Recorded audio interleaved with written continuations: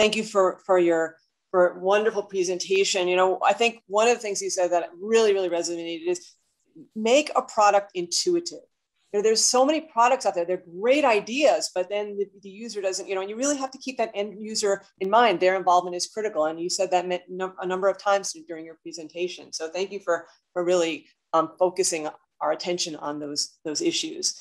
Um, and now we're going to go to our, our panel. It's, and one of the things that's really kind of the Germans say roter Faden or red, the thread that goes through all of these talks was how are we, are we getting the people at the table that are, you know, are going to really help us become more innovative and, and to really address the issue at hand. I mean, even starting with Oscar and Karen at the beginning, um, and then, you know, with different areas of New York City, um, you know, and also we had Mei Lin talking about, um, you know, the, the people-centered internet.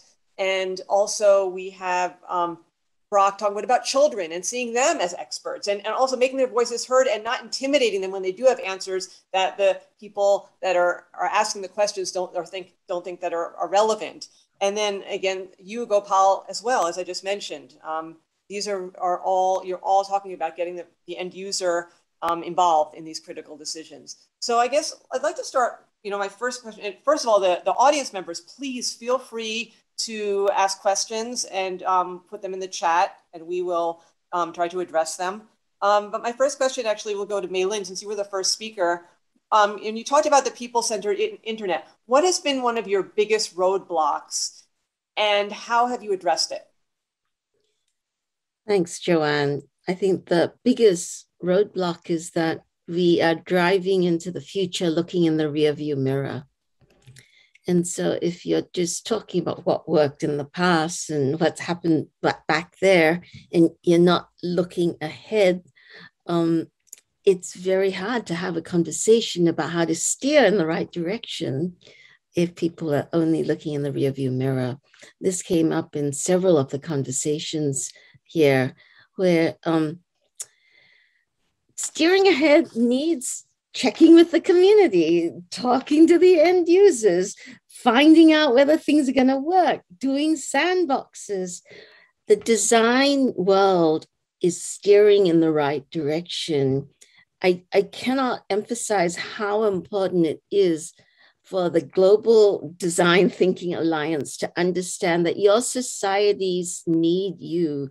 You are the headlights that they need to understand how to steer into the future. And so I actually think we have a communication problem within the design thinking world, thinking, oh, it's just us. We're in the back room. Don't pay attention.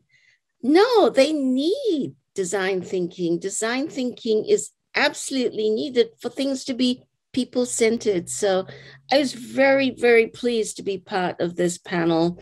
Thank you. Back to you, Joann. And, and thank you, Mei And, and, you just talked about that taking people seriously, you know, those people in the back room. And, and Brock, you brought up this, the, bringing the children in. Can you talk about, I mean, you talked about a little bit, but go more into detail about the strategy about getting these experts to really take the, the children seriously because it's about well-being and the children are the experts of their own well-being. So can you maybe bring, um, maybe expand on what you talked about a little bit?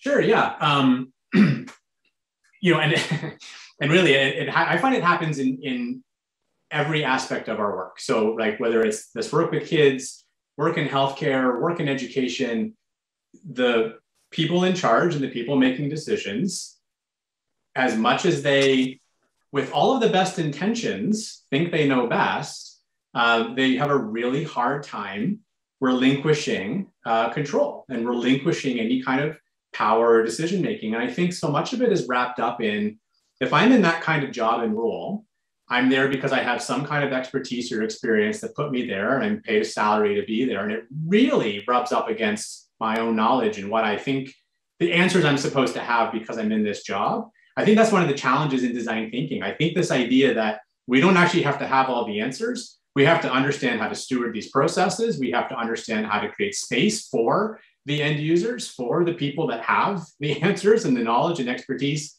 in their own lives. And how do we get out of the way of that? And when, when that rubs up against our sense of self and our sense of identity because so much is wrapped up in what I know and my expertise. And then some kid says, Your idea is dumb, it'll never work. That's really hard to hear because I'm the CEO of some organization nationally that serves kids all across the country, and I'm supposed to have the answer. So it's really hard because it, it bumps up against our ego. So I think a lot of what we try to do in any of these settings is before we bring kids into the room, we talk to the adults in the room about here's how you're going to participate, here's what's likely to happen, here's how you say yes, here's how you be an ally, here's how you here's how you participate today. And we try to set the conditions to, to get them ready for whatever they're going to hear because it's going to be something they've never heard before, probably, or never treated seriously. And then it's all of the you know workshop techniques and facilitation techniques and all the things that you do to try to create a space where people can create together. But I think it's I think so much of it is is people's ego getting in the way. And so it's setting conditions ahead of time so that people can participate fully. And, and yeah, and I, and I think also showing our own vulnerability sometimes makes the others more confident in really getting them to, to speak out um, about their, their own issues. Um, yeah, and, and Gopal, what about you? I mean, what, what are similar to what I asked Brock in the healthcare field? What are some of the areas? What some some of the strategies you've used that you have that you've you know mentioned or not, haven't mentioned? Thanks, Joann. Yeah, I completely agree with what Brock said, uh, first of all. So having the humility to set aside, you know, whatever we might think we know. So setting aside uh, the preconceived notions, setting aside our ego, and having the humility to listen to people and hear their problems, even if they're uncomfortable to hear about, um, before we leap to conclusions about what the solutions are. I think that's a that's a really important starting point. I think um, for me personally and for people I've worked with, the most important part has been visiting, uh, for instance, uh, just continuing with the vaccine example that I shared, um, visiting health clinics in uh, across sub-Saharan Africa, in India, in other country, other parts of the world, um, talking to people and seeing what they're dealing with. Because honestly, if uh, understanding the lives of healthcare workers was so incredibly humbling. Um, I think sitting uh, here in North America or in Geneva or somewhere else, it's so easy to say, you know, it's because healthcare workers don't have enough training that uh, they're not taking care of their fridges properly or the vaccines are getting frozen. It's it's you know they need more training, they need better incentives and so on. Whereas once we got to the field, once we went to the health clinics, it was easy to see that there was no issue with training or motivation or um, or anything else. These healthcare workers were going so above and beyond. In many cases, they wouldn't even receive money to buy vaccines. They would they would pay out of pocket to buy vaccines to immunize children in their community. And so uh, there was no way we could not be humbled by that that level of commitment to their job. And uh, I think that really helped us set aside our egos and uh, you know achieve a level of humility to say, okay, these people really.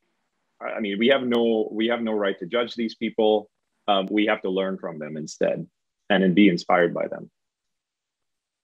Yes, thank you, thank you, Gopal. And and I think to add to that, you know, when you're interviewing people, we often see ourselves as experts, but and and when we think of them as experts, it's not just about think getting changing that mindset, but it's also about the actual process of interviewing them is let them do most of the speaking and not, you know, having us. And, and I think that's one of the mistakes a lot of times we make is, is we, you know, we speak more than the people that we're interviewing. Um, and okay, so we're a little beyond our time right now, but if anybody, I, I don't see any questions from the audience, um, at least on my chat. If, if uh, somebody else in the tech group has please uh, bring that up. Otherwise, do, do you, as the, the, three panelists, do you have any questions for each other? Because you haven't had that opportunity to ask. Feel free to ask before we um, before we leave to the break because we're a little over time. But if you have any questions or you have final comments, please let us know.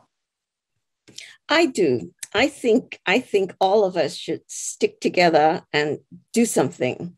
And one suggestion is in the New York City given that the UNHQ is there, actually coming up with the idea of a clearinghouse uh, that could take the lessons that we've actually discussed and supported by Hasso Plattner Institute has an open MOOC, uh, massive open online.